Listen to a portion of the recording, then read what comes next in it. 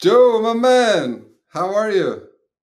I am great, Tony. Good to see you. I feel like that pain in the ass supplier that keeps reaching out to you, like, uh, "Hey Joe, can you leave us a review?" and "Hey Joe, can you uh, can you refer us clients?" and "Hey Joe, you want you want some more resources?" "Hey Joe, you want to have a podcast?" No, it's all great. It's all part of business, man. you know, we appreciate you very much, Tony. No, no, no, Oh, that's cool. So how no how's problem. everything Glad, going? glad to be here with you today. It's fantastic, fantastic. Very well, thank you. You know, staying busy and um, family's well. We're all well. Um, you know, just um, getting a little bit older every day, but that's okay. that's part of life, you know. But uh, overall, um, I can't complain. I'm blessed. That's awesome. I keep forgetting where you are because I I remember you were in Portland for a while, and now you're in. Are you in Colorado? Actually, my son is in Colorado. Uh, I am in a small town called Gig Harbor in Washington, state of Washington, Oh, and um, just a little quaint town. Not very, not a lot of people. It's a maritime town, and we have an office, uh, an R and D, an office here in, in uh, Gig Harbor, in addition to our uh, main office in uh, Hillsboro, Oregon. Oh, right, Oregon. Yeah, I remember there was an Oregon uh, connection there. So, Gig Harbor sounds like a harbor town. It is. It is. It's a it's a small harbor town. Uh, a lot of history behind it uh, from the old um, uh, gig boats. Uh, oh, back when they were exploring the area, they used little, uh, not little, but they were gig boats, like a ten man boat, and uh, they would use that to come into the harbor. Uh, because the, the entrance is shallow, and then there's a beautiful harbor uh, that's well protected, and that's how it's got its name, Gig Harbor, because you needed a gig to get in here and um, yeah, it was. It's mainly um, settled by Russians, and uh, in, the, in the days of the fishing town, um, lots of um, history behind it. Not much goes on here in the evening, just sort of quiet, but it's a good vacation spot. A lot of people travel here during the summer. It gets very busy with uh, tourism and uh, boaters visiting the area. It's pretty. Uh, but again, we're in the Pacific Northwest, so we do get a lot of rain uh, up here. Um, most of the year. So we carry an umbrella year round. well, actually, people who live in the North- Northwest don't use an umbrella, but so to speak, you know, we're always prepared for for uh, uh, wet weather. Is that why you moved there, Joe? Is it because you wanted peace and quiet? Like I know you you're a retired police officer. We'll we'll get into that a little bit. Um, but is that is that what you were looking for? yes, we were trying to get away from you know the hustle and bustle of everyday life and commuting and freeways and just finding a, a more of a uh, off the path, so to speak. Um, Nice. so this fits us well, and it's, it's good. We live in a good uh, uh, area, and, and um, it's it's um, yeah, it's quiet, and that was the main thing we were looking for. Not not too busy, and I also enjoy uh, boating, and obviously being so close to the water here makes it convenient. So uh, I enjoy that, and um, yeah, it makes it it makes makes it pleasant. Is that would would that have been possible without COVID? Like I know for for us, like you know, we're scattered all over the country now, including myself. I moved out of the big city. My business partner moved out of the big city. Um, was that basically a result of COVID? Partly, I think you know COVID um, really changed the landscape of business today and and how we operate, and I think that is that was one of the the factors. Yes, um, like many businesses at one point, we had a lot of office space and Hmm, everyone came to the office and worked Yeah, and collaborated together. Just the, the common business the uh, interactions that you would have um, before COVID. And uh, COVID, like I said, changed for everybody. Everything moved to online, uh, people working from home. And over the period of time, it, it's almost become the norm uh, Hmm, for everybody now. And we see this more and more, even with my own company. Uh, we are um, technically global because right now it's no longer just the people within um, around you. It's it's global. It's a global economy, a global uh, collaborations, uh, global customers. Uh, many companies have um, foreign operations and and businesses in the United States. hmm So uh, that uh, landscape has really changed, and we've adapted well, and uh, it has helped our business tremendously. And I think you know, Tony, something that it's almost like a byproduct of COVID itself that, uh, to a certain extent, we are conducting business different because everything has moved to online for us. But at the same time, it, it, it is a benefit to our customers out there because um, it reduces the expense of travel, especially when we're when we're training customers to have to, uh, you know, send a group of trainers to you know to the East Coast or wherever they have to go. And uh, you know, travel is expensive, it's time consuming, uh, exhausting as you know, if you're going to conduct a um, a two or three day training, well, you got to put add a day before and after, Yeah. uh, just to uh, um, be able to make it online, right? So you know, a, a two or three day training turns into a week, and and there's a lot of cost involved in that. Going online uh, has been really a, a blessing for the end for our customers and everyone because we are saving those expenses uh, and have learned to um, perfect the online training and all the different tools and skills that makes uh, learning much better uh, online. So it's it's worked out, and and I think overall, geez, for since COVID, people have adapted to um, communicating online, and um, the employees like it. I mean, they they prefer not to commute. They prefer to be at home, especially for um, our employees who have family and children at home, or, hmm or uh, you know, it gives more family time. So it's been it's been good overall. I really don't see us going back again and having large office space and, and bringing everybody to the office like we did in the past. I think uh, you know it's worked out the way it is right now, and like I said, we have two offices, but um, we reduced the the space that we're not using anymore, but we still maintain the offices. Yeah, it's a real phenomenon. I remember, um, so we used to have a rule that you couldn't work for us unless you were in Montreal. Um, you spoke English perfectly, right? Because our clients were in the US. And so you're in Montreal, you speak English perfectly, and you had to come to work every single day. And if someone wanted to work remotely for half a day, it was a bit of a scandal. but reluctantly at And we were kicking back. We did not like it. We were saying, "What do you mean you're shutting down? What do you mean you're forcing us to work remotely?" But you know, it ended up working well. And I remember whenever we would have like when we had the office, we had pizza day or beer beer afternoons, like you know, little activities once a month. Software developers were just like they all seemed to stay at the computer most of the time, and they didn't even want to be bothered with our little pizza lunches and stuff like that. So I feel that software development is is conducive to remote work. Um, maybe some other uh, aspects are not. You know, maybe sales, maybe management is not not good for remote. But um, I never thought of it uh, from your perspective of actually training your clients, though. That's something I didn't even think about, and that's absolutely true. So a client can do the training of ArmorerLink, and we'll, we'll start talking about ArmorerLink now. They'll do the training of ArmorerLink from the comfort of wherever they are, which is great for them, and it also saves a lot of uh, you know travel and hassle on your end. Is that is that effective though? Are they so? Are you doing that on uh, on Zoom, uh, Teams? How's that working? Yes, yes, yes, exactly. Um, it, often it depends on the uh, security requirements of the client, and some prefer to use you know one application versus another. So, along with learning to teach online and work online, uh, we've also adapted to the technologies of learning the various systems. You know, we can have one meeting on Google Meet, the other one's going to be on Zoom, the other one's going to be on Teams.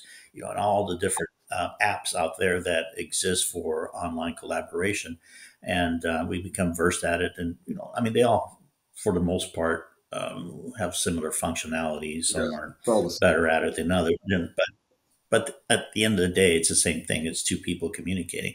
You know, back in the days, you know, uh, you know, I'm in, approaching quickly my mid 60s, but you know, I remember uh, television. We had Hollywood Squares. If you go back to that time, yeah, where uh, you know all the stars and on camera, and it reminds me of Hollywood Squares, you know, right. where you have uh, people in a meeting. so, uh, uh, but um, the yes, the, the, the training aspect of it is is is one benefit. Also, um, it's very easy to you know demonstrate things to people. We can share screens. We can mm-hmm. um, use tools to guide people uh, to use the application. Uh, we can um, take polls and and you know, huddles, and there's just a lot of different collaboration tools um, that really uh, um, gets the job done.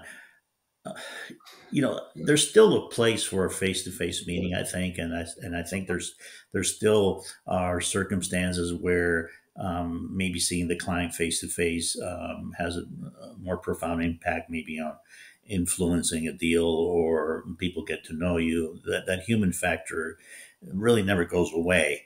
Uh, I think that it is just not as necessary today as it was in the past.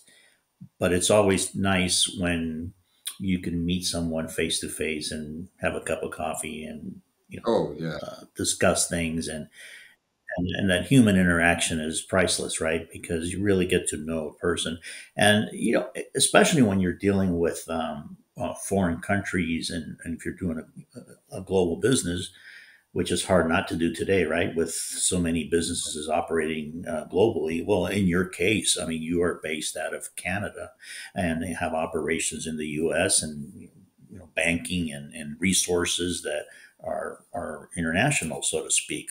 And having uh, uh, the understanding of different cultures and around the world that some uh, cultures are more comfortable face to face and they prefer to get to know you and they have certain uh, preferences.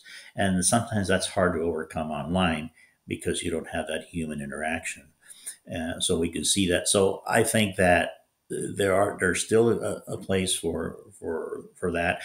And we see that in business also when you have companies that um, have a hybrid work where maybe people come into the office or meet maybe you know once or twice a week and then the rest it's uh, and the rest is at home. So it's kind of a combination so it's not all one extreme. And that um, is a good um, compromise uh, between full-time home and and um, and not being at the office and at the same time for developers and and uh, trainers. In our case, uh, we have employees who are trainers, uh, employees who are developers, uh, you know, DevOps and all that.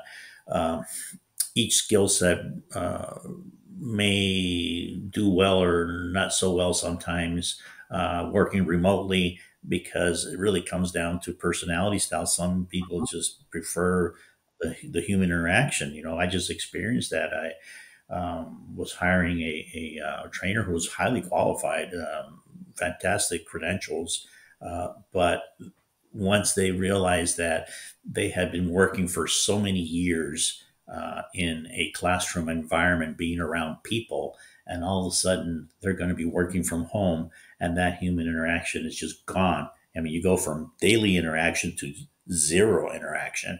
It was quite the shocker. And, you know, frankly, the person just said, I, I, I, didn't realize that I just couldn't do this because I am such a people person that I am been around classrooms my entire life. I just can't sit at home between four walls and, you know, look at people on a computer. It's just, uh, you know, and, uh, and, and I can understand that if you grew up that way and you've done that your whole life, and some people just don't adapt to it. But mm-hmm.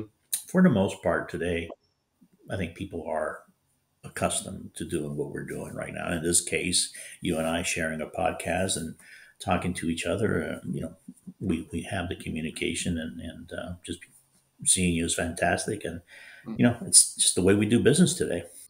Yeah, I totally agree. And it seems to be, and by the way, we tried the hybrid approach, um, but we made it optional.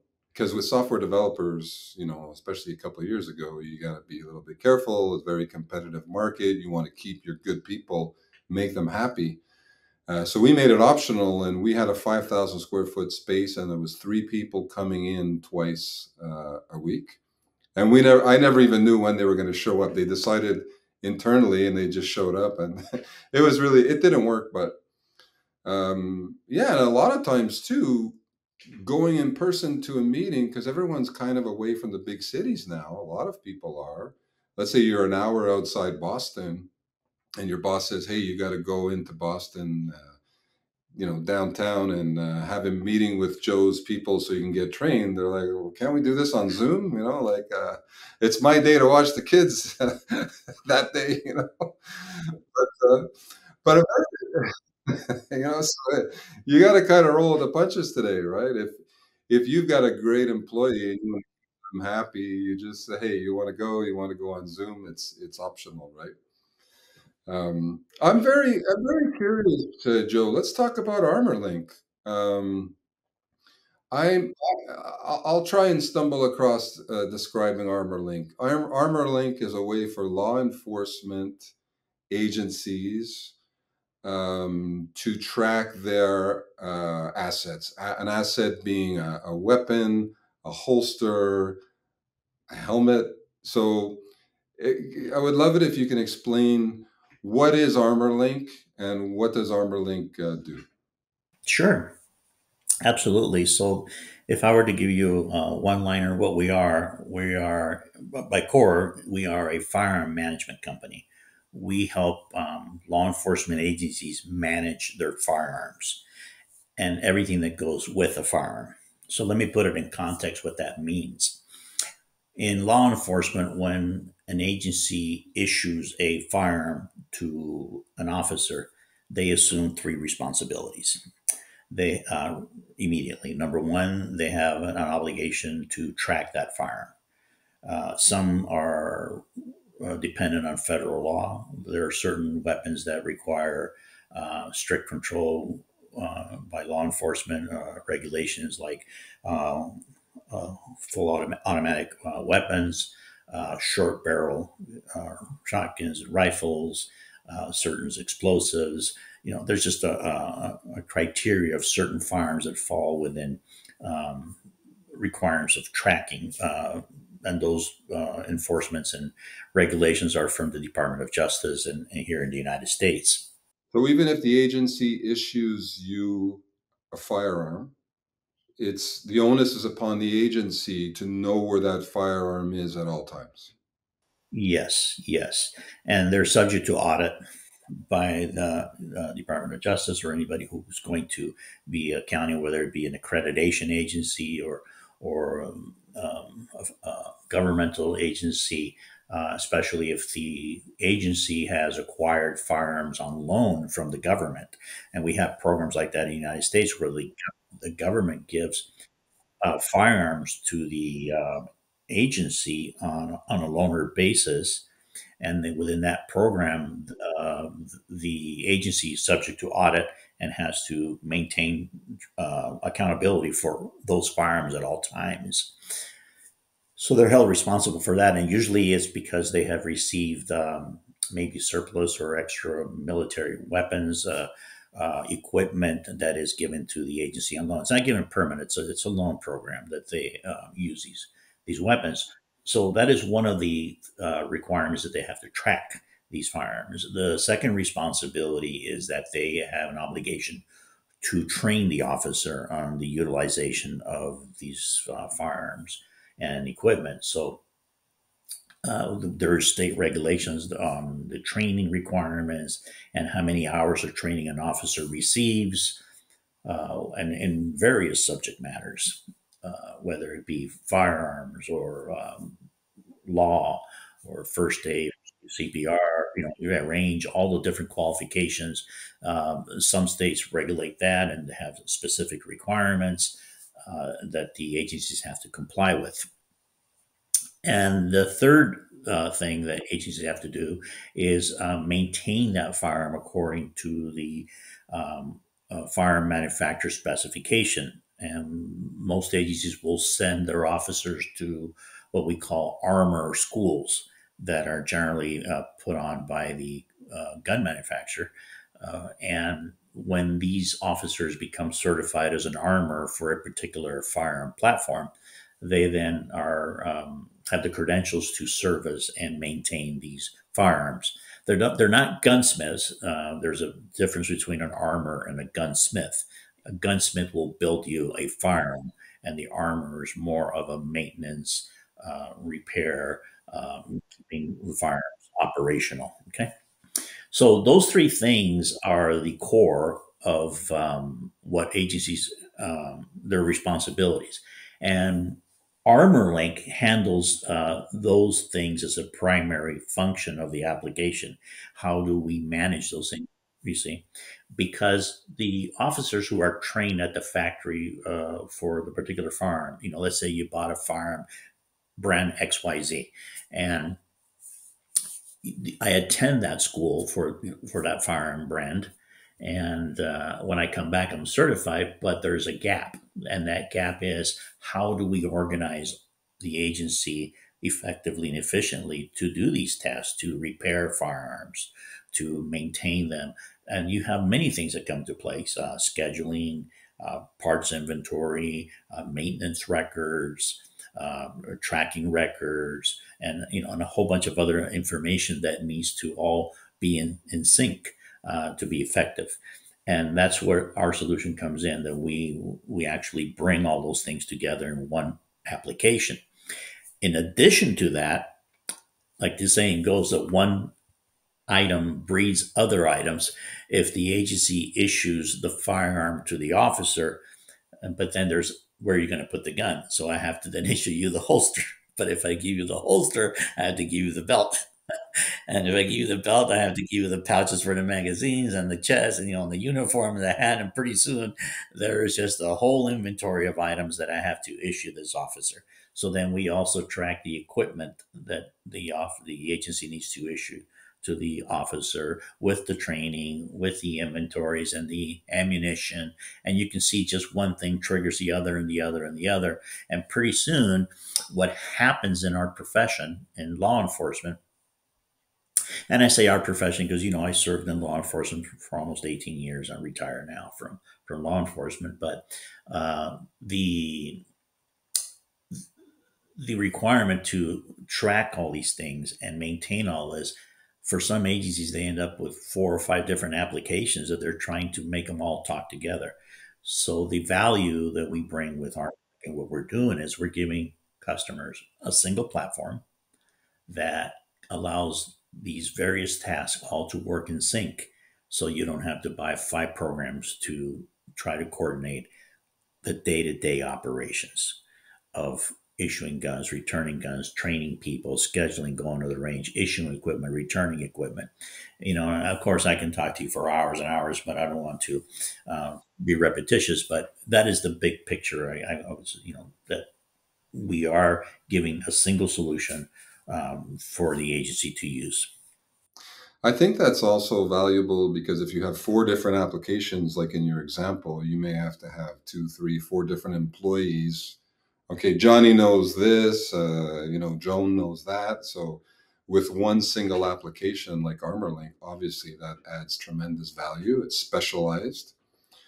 Quick question. So you you were a police officer for 18 years. You retired a detective, correct? I did. Yes. Did you envision the creation of ArmorerLink while you were uh, a police detective, or did it come like, how, what's the story behind that? Like, how did ArmorerLink get started? Well, it started uh, when I went to armorer school, and and I realized that uh, there was a gap between uh, what I learned at armorer school and getting the job done. It's two different things. You know, you you you, you return to your agency certified. You know, I'm ready to go. I'm an armorer. I'm a certain, so to speak. I have my credentials. I know how to work on a gun I know how to fix a you know the firearm and, and everything that we need to make that firearm safe and operational. But how do I coordinate all these things? And that's when I said, "Is there a program for this? Is there software?" And come to find out, there was really not a mission specific software. There were some things out there that existed, but not quite what, what we were looking for. So that's when I said, wait a minute, I, uh, I think I can build something. I can have something made that um, will fill this gap. And that's where really everything started. The original, um, and that was really a, a, link, you know, where I was trying to fix that missing link of, of uh, between going to school and getting the job done in the agency. And there was a big gap there. The um, original thought and um, also when I started the company was um, to further extend this link to the firearm manufacturer. Uh, I originally, um, when we started the company, this was back in 2013, uh, almost 11 years ago. Um, I approached some of these gun manufacturers and proposed the idea that why not link uh, our application to their factory and then the factory can interface with the customer through our application and receive real-time data of what is going on in their factories uh, in the in the actual not I'm sorry not the factory the the um, agency. If I see that the armorer is going through a lot of parts or they need to fulfill their inventory uh, with additional parts to provide real time information to the gun manufacturer to have better forecasting of what they need to build and stock and inventory, or if there's they're noticing a defect or why a part's being replaced more frequently than frequently than another part that maybe um, shouldn't be replaced so often. So I wanted to provide that information to the gun manufacturers, but for one reason or another, it, it, it really never took off. Um, there, there wasn't a lot of interest in that. Most manufacturers were interested in selling guns and keeping status quo. So we didn't pursue that uh, opportunity and we pivoted and then went directly to the uh, agencies where uh, they were more receptive because they understood that this would be beneficial to them. Uh, so I really had um, to do that pivot early up front and after I recognized that the gun manufacturer market wasn't really uh, something that was receptive at that time you know, maybe now today mm-hmm. I haven't pursued that again, but you know, 11 years later, that maybe in the future can change. Who knows? Uh, I, am not going to close the door on that, but um, it is mm-hmm. something that could still be viable. Who knows? Uh, things change, but uh, the going directly to the agencies was a, a, good call for us because that's how we built our company. We built our company going directly to the um, agencies and showing them what we do. And, uh, you know, the rest is history, as they say. We, we built literally the company one customer at a time. Is it easy for an agency to to ramp up with Armorer Link? Like, without getting into any any trade secrets, I don't want to, you know. I mean, is it easy for um, a police agency of, of, let's say hundreds of hundreds of officers? Is it easy for them to integrate into Armorer Link? Absolutely. Um, the our approach is that when we built the application, we have um, mapped spreadsheets for everything that we track.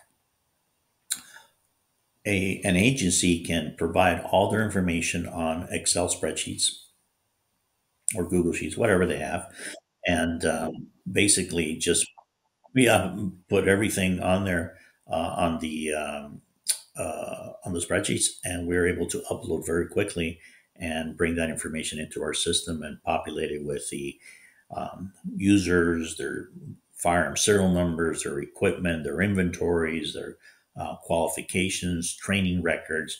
So very easy to do that uh, as long as the, they provide the information on the mapped mapped spreadsheets that we have that's been mapped to our application. We also offer the ability to connect with um, APIs uh, with uh, legacy programs, and that's another option. So we have made it really uh, easy to start with us. And in, in addition to that, uh, the people that we hire are professional trainers, which is really uh, something that a lot of companies that sell software don't do their they their support people or their trainers may not, not necessarily be professional trainers. They may be the people who know the software, or they may be the engineers, but horrible teachers. horrible teachers. They're fantastic developers, and they can just do miracles with a keyboard. But when it comes to um, parting information to other people, um, you know, you have uh, it requires a different uh, skill set. So we made it a point um, to hire our trainers um, who are professional educators or trainers who have been uh, who have the degrees. Our our training manager has a master's degree in education and training. Uh, you know, every every other trainer we have has similar uh, requirements because we ha- we are focusing on just having people who enjoy training and they have the people skills, they have the patience, and they have the know how to train people at all different levels because not everyone that comes to us in our audience, you know, is not a younger person who um, was fortunate. I always say fortunate to to to grow up in these times, so to speak, in, in technology. And, and uh, you know, some people say, oh, you know, nowadays is really bad and kids are exposed to so much. Well, yes, there's some certain truths to that. But I say for the younger generations and uh, who I say fortunate because um, if you really start to think about it, how much uh, learning and how smart young people are today, how much they acquire information. I mean, gosh, when I grew up as a kid, we I, I had to go to the library and go through the card catalog and uh, three by five cards in the library to find a book. And the Britannica library was just like the bomb. I mean, that was it. You know, if you had a Britannica, you knew a lot of stuff, right? So the encyclopedia and going to the library was the way you, you went, you know, back in the 70s. But uh, yeah, don't forget, Joe, when you went to the library, it was in a snowstorm. That's right. That's right. You went in a snowstorm and you went there and it was a quiet room. And also, information wasn't readily available. And um, a lot of the information we learned back then, you know, was either um, through tribal knowledge, passed downs, neighbors, um, you know, your parents um, taught you things, and that's how you learned, or you had to go to the library and look it up. And guess what? When we had to call people, the phone number was up here. yeah. I don't even know my wife's phone number.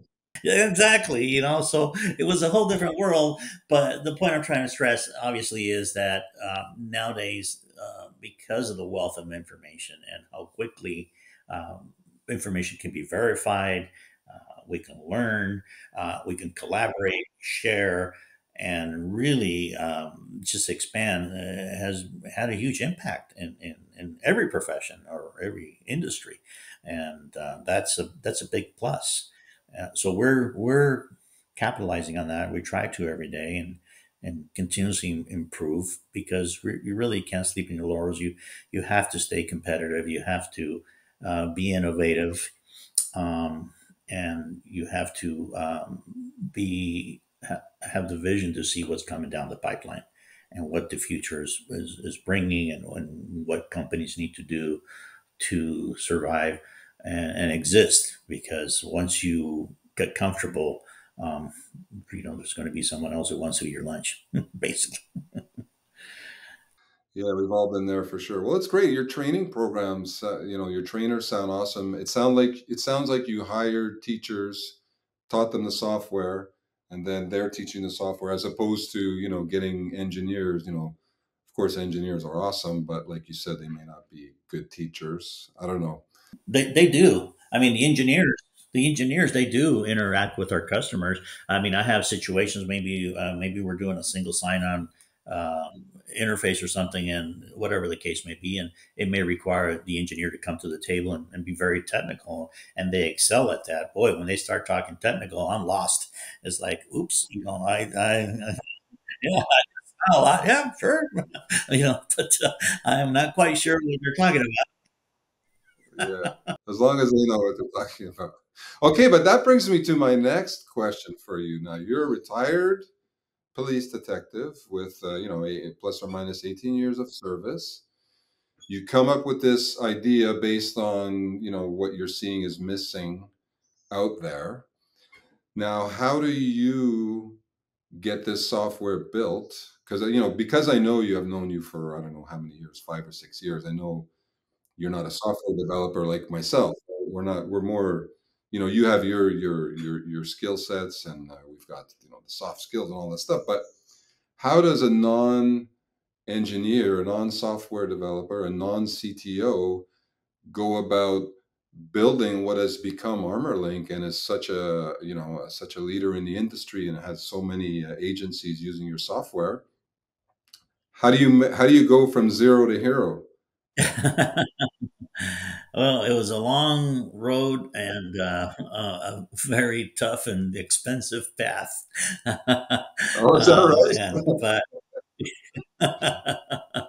I can talk about that for sure. But listen, I the starting was interesting. Um, I I had um, my, my previously before I was in law enforcement, I worked in the apparel industry, and I was exposed to technology and CAD uh, technology, uh, computer aided design, and and um, plotters and servo cutters, and just a wide range of technologies. So um, technology wasn't new to me, uh, but but at the same time, I, am not a developer, uh, and creating software is a whole different game. As I learned, um, you know, I didn't really have a mentor, so to speak, at the beginning. I just, um, I just went for, it. I just did it, you know, and it's, um, I wouldn't recommend somebody doing what I did. You know, it's always good to find someone in the business. I wish I would have known you when I when I early started, Tony. It would have been my life much easier. Uh, you know, at the very very beginning of the inception of the company. But um, the um, the beginning was uh, I, I, actually drew all the screens uh, on PowerPoint and uh, designed the software on a presentation, on a slide presentation. So I, I made a whole bunch of slides, and when every time I you know uh, I clicked next, it was like the software screen's working. So it's almost it looked like a software, but it was only slides. Okay, on a on a PowerPoint presentation, and uh, and then um, well, that's pretty common. Yeah, it was my my version of you know Figma or all the different softwares that you do for UI UX. I just did it on PowerPoint. So I used Paint, Microsoft Paint, and PowerPoint to build the uh, initial uh, concept of how the application was going to work. Um, I was fortunate; my wife, um, uh, being in business and and uh, she was uh, worked at very top companies and executives, and she has a lot of experience in in um, process optimization. She's you know Lean Six Sigma certified and has a lot of knowledge. Worked in the top companies, the top names you can imagine. Um, her career was fantastic, and she brought a lot of experience in process optimization and process and flow. Um, and then I did um, eventually hire um, an initial group of engineers and people who could help me bring the product to fruition to actually start uh, developing. So I had to obviously bring in the right people, the team. I did put a team together, but the initial design and concept of what I wanted to do, I just did it, and and I didn't look how other softwares were built. I didn't want to be influenced what was in the market. I really created um, a, a user interface um, and a methodology that was not um, common.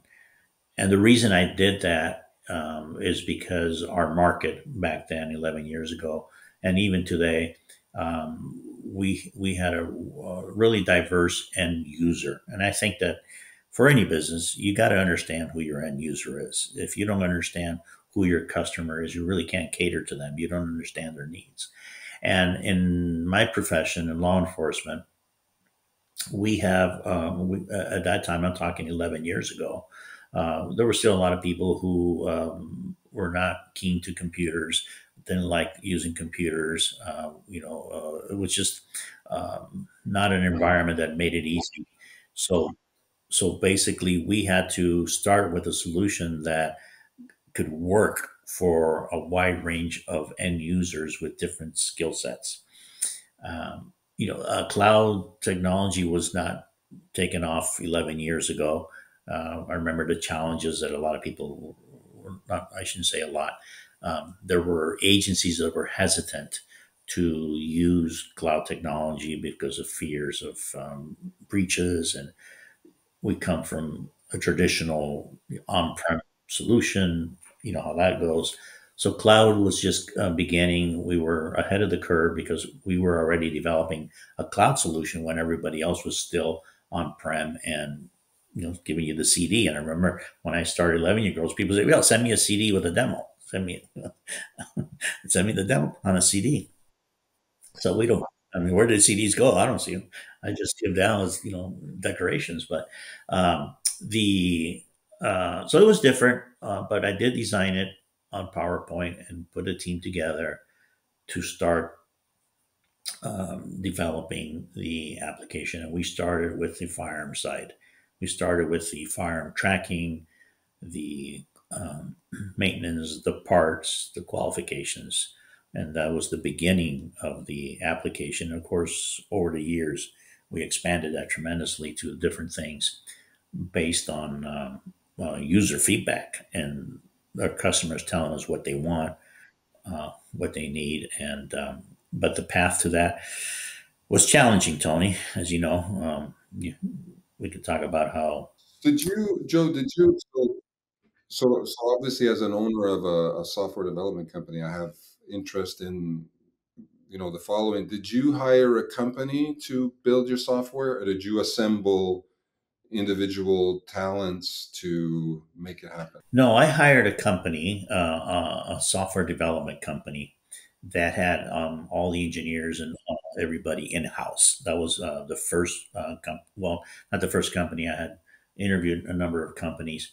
One of the challenges back then was that if the project wasn't to a certain level of, of dollar value, um, wouldn't take your project. So some of these software development companies said, unless you're going to spend, you know, a million dollars with us, we're not even going to talk to you. So it was it was a challenge just to, to find a company that would even take our project to begin with on a small startup, you know, uh, uh, with with a small budget.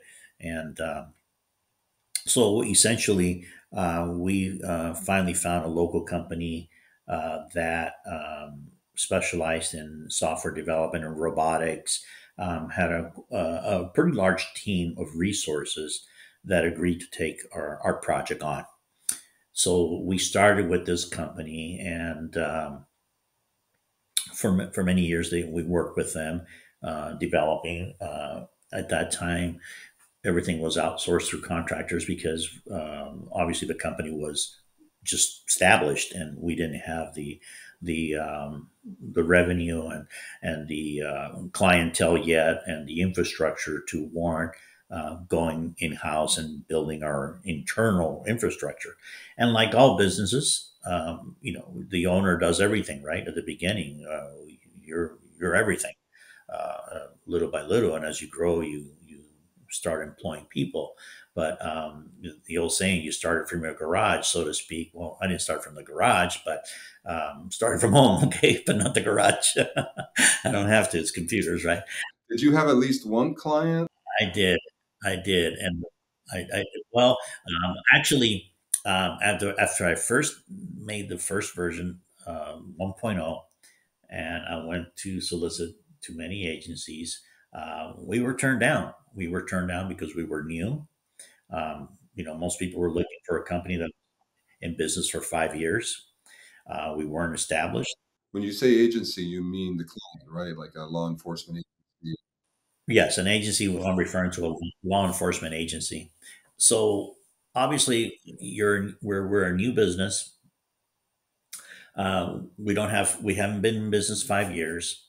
Um, we're starting with a new product so there's a lot of um, uh, I don't want to say red flags, but things that agencies would be hesitant because you're not proven, you haven't, you don't have a record, and they're going to, in their mind, which I can understand. I, I mean, I, am not saying they're wrong. They're thinking it's it, it's tough. It's tough, you know, to someone to to essentially gamble on someone who's new and say, well, is this vendor going to work out? Is you know is Joe legitimate? Is this company?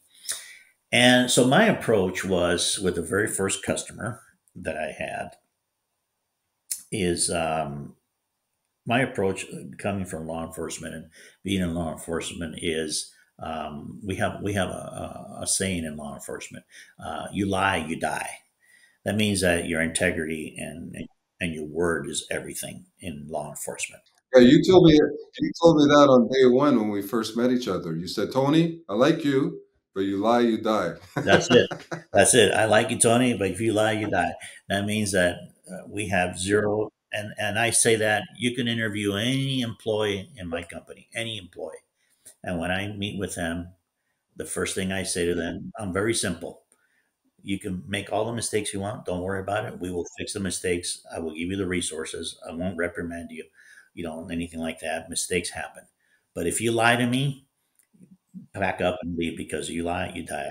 We don't, we just can't do that. If we lose, if we lose the trust of our customers and our integrity, I don't have a business. I don't have a business because number one, um, no law enforcement agency is going to trust you, and number two, you're not credible. And uh, who wants to, you know, to be in, in, in partnership with someone who's not credible. So what I did in my very first customer, I, I, remember this vividly in, in my first presentation ever that I did to a customer. Um, they liked what they saw, they liked what I was doing, and they asked me, "How many customers do you have?" And I said, and I just looked at him. I says, "I have none, and I hope you're my first. And I said it reassured with no hesitation. I said, I have no customers. I hope you're going to be my first customer. And the room went quiet. The room, the room went quiet.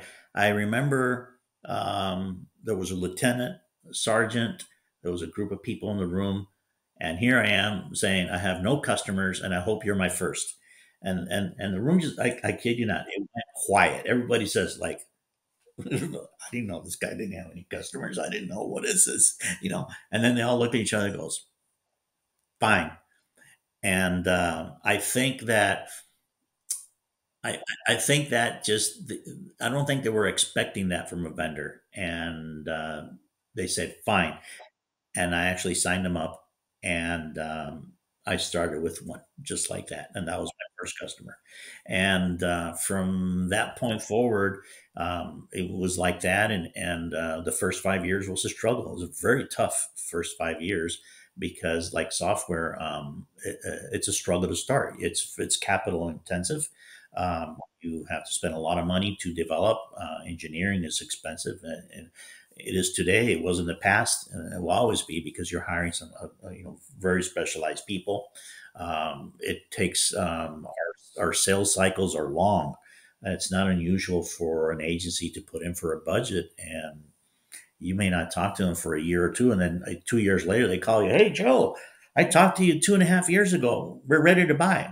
Okay, you know, and you look at my, you know, and I look at still around. I go, yeah, I'm still around. And I look and I go, oh yeah, I talked to you back in 2018.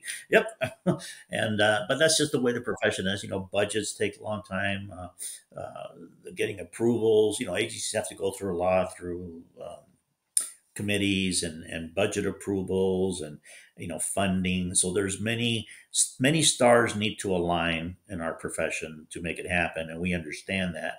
But the point I'm trying to make here in, in starting a business such as ours, um, you know, I, I there were some things I never anticipated, Tony. I didn't anticipate the the the lag um, between a presentation and an actual closing of a deal. I didn't really think that software development would be so involved and how crucial it is to work with good people. I mean, the the uh, a software development company can break or make a company. I really can. I mean, I, I sincerely believe if you have, um, you know, if you have good management, you've got um, good project leaders, you've got good developers, you have a good team. Uh, it's wonders for for the client. It, it's it's it's a huge peace of mind. Um, on the other hand, if you don't have that, um, it, it, can be very costly, and, and I've experienced that. You know, sort of maybe we talk about that today, but not with you, of course, but um, uh, with, with, prior um, contracts, uh, that um, it was um, quite quite the eye opener and, and, quite interesting how we, um, you know uh, navigated those those years. Uh, but it was it was a big learning curve for for me. Absolutely, Joe, and it's um, it's so important, and a lot of people don't realize they have a good idea. They're going to build the software. They get some funding, and then if they don't pick the right company to hire to build this software, it's over. Like, okay, well, I had this idea. It probably would have worked, but I never got it off the ground because I hired the right the, the wrong company, and it's it's insane how often that happens.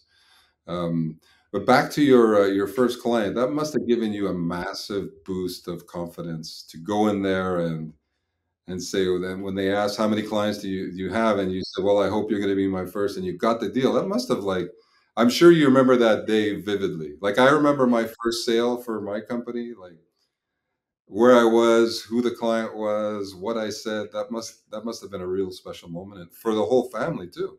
It was for family, for all of us. Um, you know, we um, we literally bet the farm uh, on the business, so to speak, as this, as the going says. Uh, you know, we we we're, we were we've always been self funded. We we have no investors. We're not owned by by a, a um, acquisition group or um, venture capitalist or anything like that. This is still a uh, privately held corporation. Um, my wife and I are the um, the president, vice president of the corporation, and we it's it's it's privately privately held, and uh, we've done it with our own money and our own uh, hard work. Um, I worked uh, and still do, you know, work much much harder today than I did when I was in law enforcement. You know, so uh, because you know when you're a business owner, you got a lot to do. Building a business is tough it's not easy to build a business. You have to you have to you know be able to to work hard and then work hard and then work hard. And when you're done working hard, you work hard again. So it's if the point I'm stressing here is uh, that uh, it's it's it's you have to be resilient. Uh, entrepreneurship and business is not for everybody. Uh, you know the satisfaction obviously comes from uh, being able to do some good for other people, uh, for a profession uh, that you know I loved um, being a police officer, detective. Uh, if I had to do it all over again, I would do it again the same way. Um, times have changed. Law enforcement is much different today than it was, you know, 25 years ago, 30 years ago. But um, the profession itself in law enforcement, you don't do it for the money you don't do it uh, for any other reason than the willingness that you want to serve, um, do something good for people, and the the experiences that I had in law enforcement and and helping people, especially when I was a detective and solving some very heinous crimes and, things that affected people for the rest of their lives.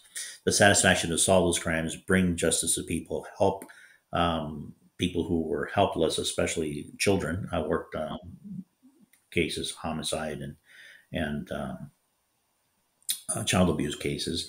Um, the reward in that is huge. That you can do something good for someone else. Um, so I really enjoyed law enforcement. I have a great love for the career that I that I served. And now, you know, I did retire from law enforcement, being a CEO of a company that deals with law enforcement, I really haven't left the profession because every day I still, um, you know, talk shop with my customers and their law enforcement, and I keep in touch with you know people that I've worked with for years. So I really haven't left the profession, so to speak. But um, it is honorable. Um, it is um, a great uh, profession if you are in it for the right reason. Uh, not, but definitely we don't do it for the money. it's not a, a thing that we do for that. So um, yes, it was a challenge. You know, at the beginning. You know, obviously we we worked together for for several years, and I can tell you're a genuine good guy. That you know you're you're you're like me. You don't want to go to work every day and have horrible messages of clients from clients that aren't happy. You know, you, you want them to be happy. You you make sure that you put the time and effort and money into building your software properly so that you know your clients have a good experience. Hey, I'm I'm glad you bet the farm and it and it came out great. Uh, because obviously, you know, you you practice perseverance, right? You didn't give up. Can you Now, here's where I'm going to ask you a question about, you know, uh, an experience you went through, and you can you can give us all as much info as possible. I kind of, not that I'm interested in nightmares, um, but I I find that you know people like us who, um, well, when I say people like us, I mean our technical knowledge level start hiring um, software development companies often get into trouble and I have uh, like during these podcasts, I always like to ask my guests, have you ever had a software development uh, nightmare? Have you ever hired the wrong company? And I know that you have, but again, you share as little or as much as you want. Uh, so the question is, have you ever gotten yourself into a nightmare when it comes to software development companies? I have, I have, and uh, like any business, um, we all go through experiences, right? Um, not everything is a cakewalk. Um, no matter what profession or what industry, what kind of business you're in, um, it has at times uh, bumps in the road, uh, or as I say, Murphy shows up and you have the unexpected happen. It's unfortunate, but That's it happens. Murphy shows.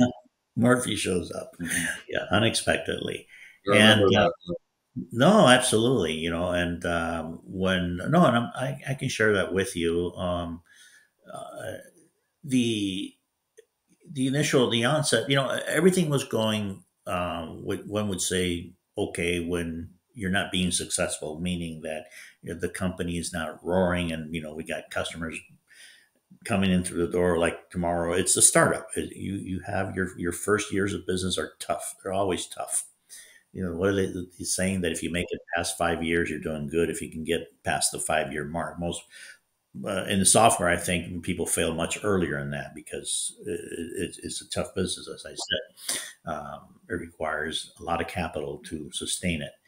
Um, so everything was going okay initially with the, the, the, the company I initially contracted with.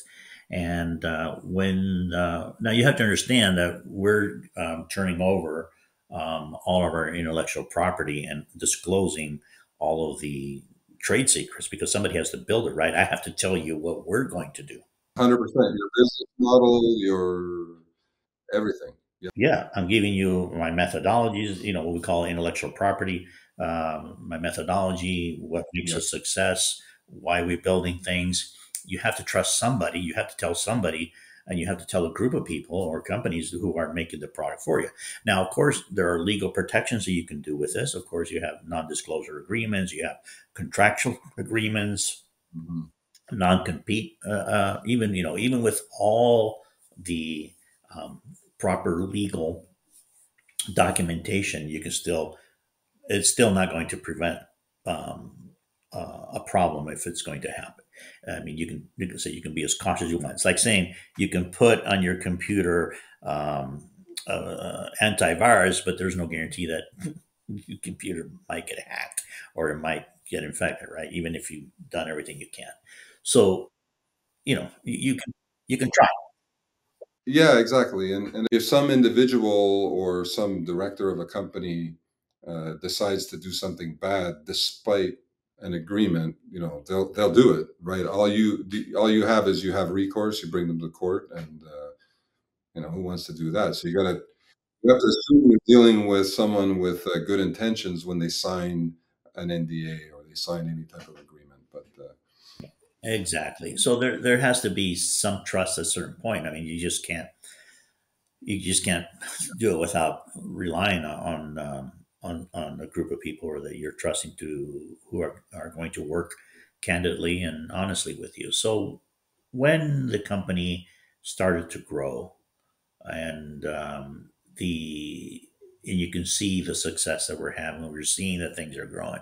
You see it as a viable company. Go, God, you know, these people started slow, but I can see now that they're building the the application. And you know, the first years of the company, obviously, we're learning a lot, right? We're learning what the customers want, uh, what we're doing right, what we're doing wrong. So you're constantly pivoting and adjusting, and and and you're you're you're molding the product uh, to the to the market requirements. So the first years were, were critical yeah. to listen to your customer, right? What they want. But I am getting this this information uh, because I have the inroad to the to the to the market, right? I'm getting real time feedback from people that I am face to face with. And this is prior to COVID. So I did a lot of face to face and a lot of travel in my early years. Uh, very little was being done over the internet. It was it was mainly in person. And uh, you know, it was a lot of travel and you know, sport codes and tie or whatever, and you're there in front of the audience.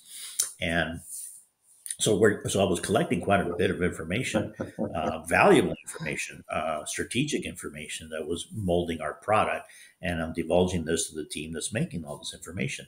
Along the way of this, we also um, uh, created um, uh, a registered trademark for our product, uh, for our, our logo, our, our brand is a federal registered trademark. So we were doing things that you know that were making us uh, a viable company, a growing company, and, and successful. So, and you're also making yourself unique. Yes, we were making ourselves unique. That is correct. Um, so, the company that we initially started with, um, we had shared some a lot of information. They started uh, unbeknownst to us and not quite aware what was going on. Um, they infringed on our intellectual property, and um, um, they started building applications and using our intellectual property to basically make a competing business. That's what happened. So when I get wind of that, that this is what's going on, um, you know, hey, you're you're you're ripping me off. You're taking all my information, and now you want to build a competing business, and you want to take my IP address, and I mean not IP address, intellectual property, I should say, um, we had to we had you know we had an emergency. We had to um, bail out out of there quickly and shut everything down uh, with this vendor which you know uh, as i stressed before that how critical it is to work with a reputable company and and how important it is to work with a software company that is that, that you know is dialed in that that they're honest they're sincere you know they're uh, le- legitimate you know they're in there for the right reason not to steal um, other people's uh, ideas and intellectual property. So prior to me engaging this company i had done um, market research and and actually i knew of uh, your company tony uh, simply php uh, back then I actually had researched, I actually reached out to you guys, and because I wanted to have other companies uh, possible to work with me. One of the reasons we didn't go with Simply PHP at that time uh, when we started was because the original company that we worked with was, was, local. It was in our town. It was very convenient for me. I was still working in law enforcement uh, early on. Um, my agency knew about it uh, where I worked. I had a, a letter and approval from, from the chief that um, I told them what I was doing. I explained to them. Uh, so I was uh, I was doing this, you know, in the up and up. It wasn't like I was moonlighting and then neglecting my my job as, as a law enforcement officer. In fact, um, just to be clear on this, uh, when I when I started the company and let my agency know about this, I told them when I get to the point where my business is growing and I can't do both, I can't be a cop and I can't be uh, a CEO, I will uh, retire. And because I'm not going to put myself in, in that situation where I'm compromising uh, my duty as a law enforcement officer to pursue a business. And and uh, you know my agency trusted me on, on that, and the chief approved it, and, and, I was good to go. So um, at that time, uh, when we discovered this, and I said I had a source company, that was the reason why it was local um, and for me, it was convenient at that time. But I knew of your company, and you were one of the companies that I had um, sourced and, and thought what could do a good job for us. Uh, if not, well, I found out you did a better job for us. But, but nevertheless, right, is what they say, it's water under the bridge, and that's what it was at the inception.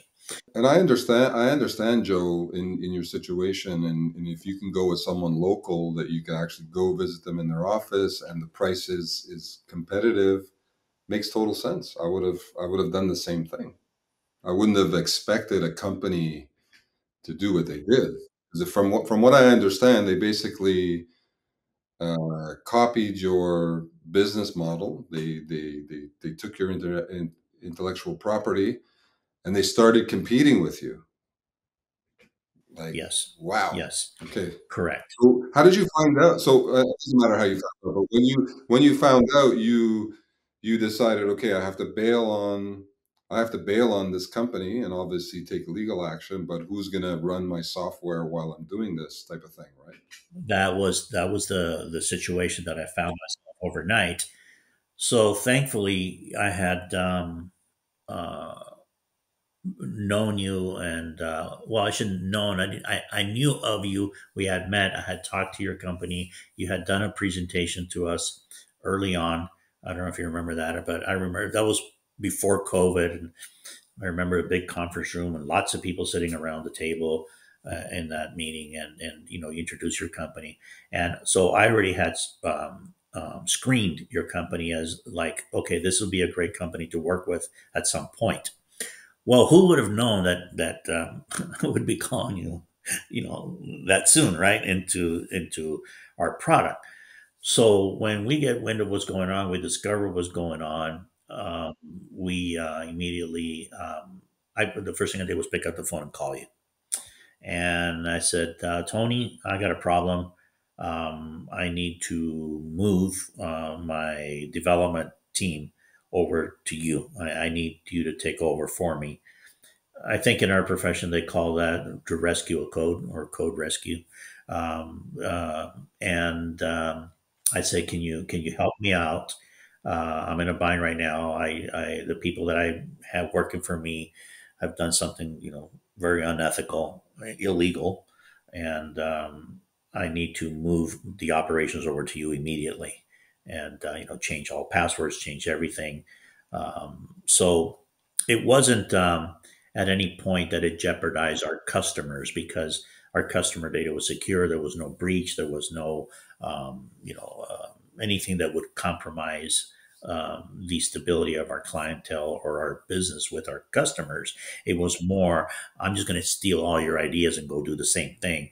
And all this time, we're we're stealing all your uh, visions and your company direction and all the things, the innovative things that you're going to do. We're going to steal those and and without you knowing, I'm going to go build it in the background and I'm going to go try to sell it. You know, that was kind of that kind of thing. It wasn't about taking our customers or because they never did that. They never touched, they never touched their customers.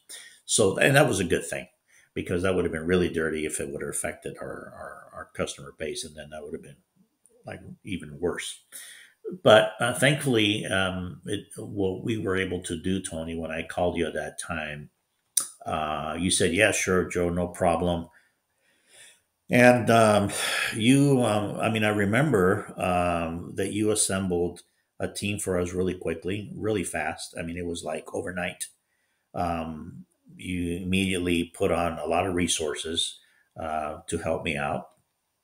And I tell you, Tony, back then, that was um, um, a mountain off my shoulders, off my back. You know, I mean, you took like, I, I mean, it was like, oh, thank God, you know. yeah. You know what I have to say? It was it was really good timing, I think too. I mean, never good timing, but I mean, you caught me at a at a time when I could help, and of course, you know, who's not going to help? But um, yeah, I remember I remember I was in disbelief, and I thought initially, right, I'm always throwing shade offshore, and I, and I thought it was like you know uh, India or or Eastern Europe. You know, obviously I obviously have nothing against those those those continents and those countries, but I immediately I immediately assumed that I didn't know it was someone in your backyard. That that made it even worse, in my opinion. But yeah, I was so, I was so glad that we were able to. We had the resources at the time. We were able to jump in and and free ArmorerLink from that uh, situation. And hey, it it worked out for us because you were a great client for uh, several years, right? I think you know oof, four or five Absolutely. years at least. Yes, I mean, you Yeah. helped me a lot. You helped me a lot with a great team, great team of people. Um, you know, it was um, it was just a, a, a big relief. Um, you guys, um, when I mean you guys, I mean your whole organization, everybody. You know, you had fantastic project managers and and good people uh, willing to help. Um, you know, you were. Um, you were always accessible to me. Uh, I felt like anytime I could pick up the phone and call you, and you would talk to me. I remember you um, early on when we started. You were checking in with me, and you were calling me from time to time. Hey, Joe, how you doing? How are things going? You know, how can we help you? Um, you know, is everything okay? So I knew that you had uh, you were following up and you were interested in in generally helping me. You really, you were. I mean, the, the I mean, I'll expand on on our relationship a little bit because I think I think that you know your customers should know this, and the people that work with you should know this, and and um, I know you're a humble guy. You rarely, rarely are going to toot your own horn because you're very humble. But uh, you know, um, I'll expand on a little bit uh, what happened in our relationship and how we grew with your with uh, your help. But at that time, when we made the transition, Tony, um, like I said, it allowed me to continue running the business. There was no interruptions to our customers. Uh, we were, you know, just like like if nothing ever happened. Uh, we were back on track in a matter of like 24 hours. Uh, everything was, you know, handed over. So you guys assumed the code, uh, assumed uh, you provided the engineering team that I needed, all the resources that I needed, and uh, you know we we had um, certain comfort that you know I felt like okay I, I I I can trust I can trust this man I can trust this company. We have you know a solid working relationship we worked for years like this back and forth together uh, on our project. You helped, you know, shape the product a lot, um, uh, helped us tremendously with with everything we did, and um, you know, um, obviously there was many many things you did as a businessman to help me uh, in the business. Um, you did things for us that um, not even family sometimes will do for somebody else. That's why sometimes I call you and go, What's going on, brother? And I say that mainly because, you know, I mean, you, you did many, many, many things that, uh, you know, you put a tremendous trust in me uh, in many areas from financial trust through uh, business trust to, you know, our relationship. Uh, and genuinely, you, you did that genuinely without any, um, hesitation. And, you know, and we're, you know, I, I told my wife and everybody says, you know, Tony's been amazing with us. Um, he's really been like family to us. And um, whatever compelled you, for whatever reasons, Tony, um, you know, even to this day, we're very thankful. And um, it is, you know, a time in our business and in in the life of Armorer Link where um, having the support and and uh, the genuine help from another businessman is made all the difference in the world for us to be able to move forward and continue our business. So for that, we're extremely thankful. And it, it just goes to say the, the quality of person you are, the, the, how you run your business, and you know the integrity of your business. Never once did we have any concerns or any doubt that we were in a bad place uh, working with your company. So we worked together for, for years uh, and uh, we transitioned then uh, to in house. Uh, and when we transitioned to in house was uh, one of the reasons why um, you know we had to financially made sense for us in the sense of what we were doing uh, you know, the company took a different direction. I needed to do some things that would be more practical in house than using um, uh, a team supplement situation or uh, 100% outsource. Uh, so we we picked up the code, uh, and then um, to this date, I have uh, developers in house that we are developing ourselves. Now, this doesn't mean that um, simply PHP is out of the out of the question for us because I know that your team can augment my team. So if I call you tomorrow and says, Tony, I need I need a couple of people from your team to work with my team um, to augment our development because we have a lot of projects to do. You know, I know you can provide those resources and uh, allow and help us with the development. So it's you know it's like you're still part of ArmorerLink. You're still part of us. We still have that relationship with with your company, and we have the flexibility to reach out to you, right? Um, and and and trigger that anytime we feel that we need um, help from from Simply PHP. We have roots with you. We we know who you are. We, we have a very good relationship, and and um, you know that goes a long way uh, for us. So to the present, uh, you know, in development, um, yes, it was um, it, it, was a very difficult time there, uh, an unexpected event in business, uh, very costly in attorney's fees, uh, a lot of time, you know, battling and and uh, fighting for our intellectual property, uh, putting a stop to this, shutting down that company who for doing this to us, you know, and uh, eliminating everything. So fortunately, um, you know, we um, it was a, a, federal lawsuit that we filed, and um, uh, you know, it was uh, settled eventually settled, uh, but uh, you know, we we um, it wasn't a fun it wasn't a fun part to be able to you know but we had to. It, it, was it was a it was one of those situations where you have no choice. You have to defend your intellectual property. You have to defend your business. You know i wasn't about to let someone knock me off and copy everything i did and let them get away with it. I mean that was just wrong yeah, I remember, Joe. I remember uh, we had a couple of our people uh, testify in the proceedings, and uh, you know what a what a way to waste time and money, right? Like you, you should be concentrating on growing your business. Instead, you're lawyers, you're doing uh, depositions, and uh, I remember they had the camera crew come to our office and uh, interview us, and it just. But to go back on the the impact that um, I personally had on ArmorerLink and the company, you know, Joe it's all about you though. We call you uncle joe right? So when you have clients like like you and i definitely have a few more and I, definitely have a few more it's just a pleasure right? It's like all you want to do is please people like you. So you know uh, right back at you joe. We had we had a we had some uh, we had some interesting times. We had some good great laughs uh, with uh, with some with some really cool characters and uh, yeah, I remember, I remember, you know, welcoming, welcoming when you said I want to hire a couple in-house developers. I, I actually agreed with you. I said, you know what? I think at this part in in your business, it may it may be beneficial to have someone in your physical office that you can uh, throw a shoe at. Yeah, or, or, throw a phone yeah. at. yeah, no, absolutely. You know, sorry, and, that's and, a bit of no, no, it's true. It's true. I mean, that's that's. I know what you're saying. You know, um, the metaphor. Yes, I get it. It's the um, yeah, and I says you know, businesses are dynamic, especially today.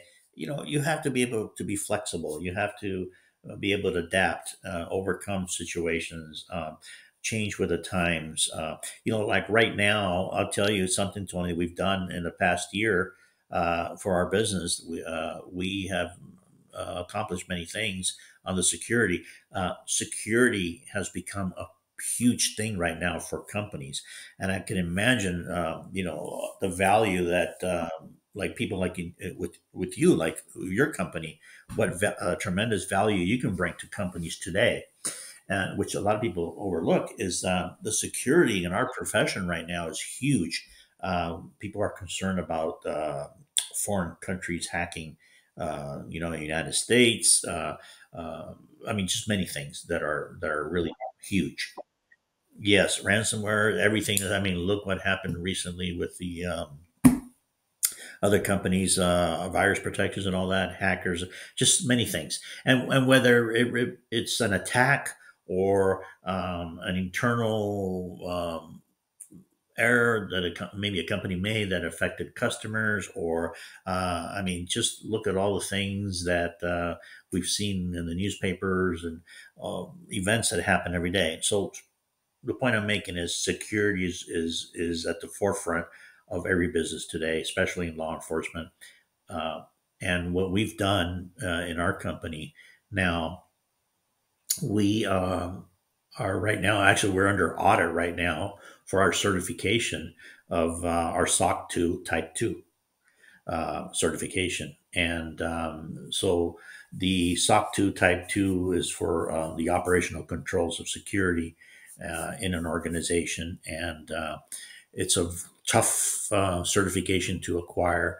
Um, basically, you know, we're we're right now in the middle of our audit. The auditors are checking our company with a microscope in every aspect of security and data and how everything is stored and how we proceed in our documentation. I mean, they're looking for things like our office log, who came into the office, who left the office, you know, um, every control that we have for security is being right now audited. Um, and uh, once we uh, complete the audit, and then there's a report that shows any deficiencies in our security or the good things and the bad things and they give you a window to make those corrections or recommendations that they make uh, the auditors make on our security infrastructure. Uh, next to that we're lined up to do our iso 27001 certification. And again this is all for uh, security on uh, technology and operational controls. Uh, it's another level of, of um, security audit and certification that we are uh, marching toward.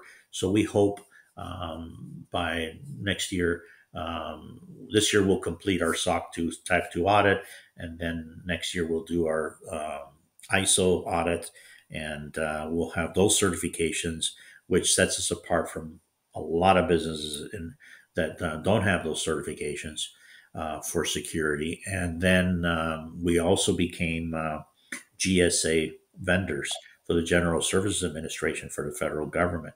We got approved. We're under contract with them, so we achieved that uh, this year. So there, we've, um, like I said, uh, been growing in other areas of the business, uh, and all to the benefit of our customers because nobody's, uh, so to speak, uh, forcing us to do this, but we know it's important uh, especially to to build the trust of our customers that we are uh, certified by an independent party that says that our security is solid and that we have good operational controls and that we're doing everything legit. There is no, you know, there's no server in some building that has our customers' data. You know, we're running AWS GovCloud you know, and the strict requirements that we have under GovCloud and government, under, you know, um, U.S. soil, you know, only people in the U.S. can touch the data, you know, um, the, you know, there are certain requirements that we are meeting right now that um, that are very strict in in our security and being able to do business in the United States. Uh, in our profession, which requires that um, CJIS compliance, criminal justice information, you know, systems, and all that all require uh, a very high level of security and standards that we have to follow. Just as the same way we have to follow uh, procedures for the General Service Administration and other certifications that we're doing. It's it's all about you know that building that trust, building that security um, for our future customers. And another area you know that we maybe haven't touched upon that comes to mind is customer service and while we have uh, a business, and you may have, you know, like us, we can deliver a product, we make a product, uh, you know, a solution, we sell it to our customers, we support it, we train our customers. But what about customer service? That's huge. Customer service is huge, and um, people forget that. Um, you know, uh, I mean, I've sus- I subscribe to other programs that we use for our business, and uh, you know sometimes you call their service or their support and it's you know to a foreign country and half the people don't understand what you can't understand what they're saying. They can't understand you. You know the the, the customer service is just very bad you know and you're like uh, you know. How does that make sense? It's, it's so crazy. I don't i don't i don't see how that makes sense. You find some companies go out of their way to hide their phone number. So you're looking for how do I call this company because I'm having a problem? And they intentionally hide the number. Um, but I'm glad that you know ArmorerLink provides amazing customer service, and of course, I'm not surprised. Look at the leader. no, I just think that it, I, I think you know I tell every customer of mine has my cell phone number. Every customer, and I said, if you ever have a problem, you pick up that phone, you call me directly. Uh, and we do have an 800 number that operates yeah, and we have an 800 number that operates 24 hours a day. We have an answering service, that's convenient for our customers. They have an emergency, they know they can call the 800 number. You know, maybe I'm busy or whatever. I can't answer my phone on the spot, but they know if they call the 800 number, somebody's always monitoring that. So we do have we we do make it easy for a customer to reach us and get control. We do respond, you know, to our customers, you know, in, in, a reasonable window of time, the same day, you know, sometimes within 15 minutes, sometimes within an hour or so. But we are being responsive, and that's so critical. And I know that in your business, Tony, you have the same philosophy. I I knew from the first day you and I started working together, and I knew that I could pick up the phone and call you, and you would answer, or you would text me back or you would say, "Can I call you later?" or something like that. You know, I know you were in a meeting or something, and I says, "Yeah, sure, it's not urgent," but you know, to have that relationship, you know, and that level of, of customer service, you know, it's priceless for and, and, and people miss that. They forget that sometimes when they sign up with a company, they become a number. They become an account number you know, and uh, that it's frustrating when you pick up the phone and you're trying to get support or something, and someone, what's your account number? Oh, what's this? And give me your password. And okay, and we verify who you are. Oh, well, that's not part of the support plan.